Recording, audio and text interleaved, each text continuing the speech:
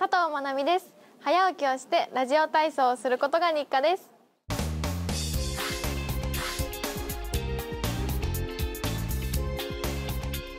所沢で生まれ育ちました。開発が進んでいてどんどん住みやすくなっているのですが程よく自然も残っていて帰ってくるとほっとします。日記を書くことです。中学生の頃からいいこと日記というものを毎日書いています。1日分のスペースも短くて続けやすいというのもあるのですがいいことを書き続けることですごい前向きにもなれるし周りからも明るくなったと言われます。チョコレートの食べ比べです。コンビニで売っているものからチョコレート専門店まで行って食べ比べしています。チョコレート検定というものを受けたりして知識を増やしています。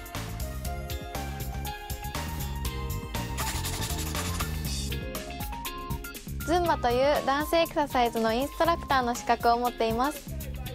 初めてジムで体験した時に楽しすぎて資格を取ろうと思ったんです。有酸素運動でとにかく汗もかけてダイエットや健康づくりに最適です。パーティーみたいな雰囲気で踊ってエクササイズをするので楽しみながら体づくりができるんです。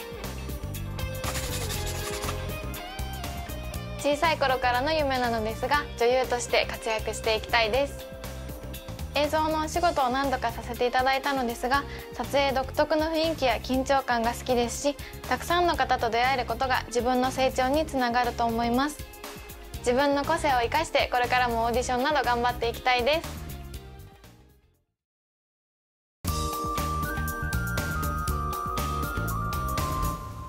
いろいろ食べましたけど食べましたね。印象的なの何ですか？やっぱりあれですかねあの芋スライスの芋のがディップして食べるのが美味しかったです。結構あれをインスタで見てたので食べたかったので嬉しいです。ちなみにそれは何ですか？これはお面さっき買ったお面です。